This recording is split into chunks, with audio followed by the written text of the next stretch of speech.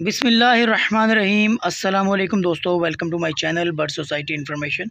तो दोस्तों, कैसे हैं आप सब? उम्मीद करता हूँ आप सब खैरियत से होंगे और अपने बर्ड्स का अच्छे से ख्याल रख रहे होंगे। तो फ्रेंड्स, एक और नई वीडियो लेके आपके सामने हाजिर हूँ। वीडियो शुरू करने से पहले आप सब भाइयों से गुजारिश है कि मेरे चैनल को सब्सक्राइब करें और साथ दिए के बेलाइकन को ज़रूर प्रेस करें ताकि मेरी हर वीडियो का नोटिफिकेशन आप तक पहुँच सके। तो दोस्तों, आज की वीडियो में मैं आपको अपने कुछ फैंसी ब्रीड्स का शो करवाऊँगा और दिखाऊँगा। ये मैंने कुछ नए बर्ड ऐड किए हैं। मैंने कहा अपने सब्सक्राइबर के साथ भी इनको शो कर दूँ। तो दोस्तों, इनमें तीन जो फीमेल्स हैं, वो गोल्डन हैवी बफ़ की हैं। वो आपको नज़र आ ही रही होंगी। और एक जो ये मेरा पेयर है, ये वाइट हैवी बफ़ का है। माशाल्लाह, आप इसकी क्वालिटी चेक कर सकते हैं मेल की। चेक करें जी, माशाल्लाह। तो अब बात करें गर्मी की और इनकी ब्रीड के बारे में। तो दोस्तों, जैसा कि आप सबको पता है कि जी, बहुत ज़्यादा गर्मी पड़ रही है। और इस वजह से अभी तो फ़ीड वगैरह मैं बिल्कुल इनको नहीं दे रहा। ये जैसा कि आपको, आप ये देख सकते हैं, ये दाल दाना भिगो के मैं इनको देता हूँ। क्योंकि दोस्तों फ़ीड बहुत ज़्यादा गर्म होती है। तो इस वजह से मैं अभी इनको फ़ीड नहीं दे रहा।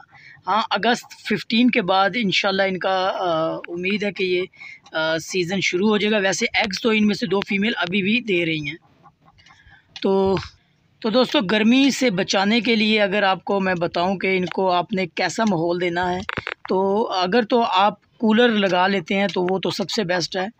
लेकिन अगर कूलर आप नहीं है आपके पास आपने छत के ऊपर कहीं बाहर जगह पे रखा हुआ है तो दोस्तों आप तकरीबन ये कोशिश करें कम अज़ कम कि इनके नीचे ये देख सकते हैं जी ये जो आ, मैंने एक ये एक बोरी रखी हुई है जो आपको पता है ये जो सेबे वाली बोरी जिसको इधर पंजाब में कहते हैं सेबे वाली बोरी। वो बोली बोरी मैंने बिछाई हुई है नीचे। और मैं करता ये हूँ कि मैं इसे सुबह सुबह भिगो देता हूँ जिस वजह से ये ठंडी हो जाती है।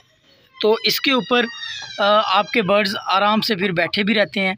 एक और आपने दोस्तों कोशिश ये करनी है कि ये दोपहर के टाइम इनको जब ये आपकी छत गर्म होती है, उस टाइम गर्म नहीं कर, उस टाइम इसको आपने भिगोना नहीं है, यानी कि ठंडा गीला नहीं करना।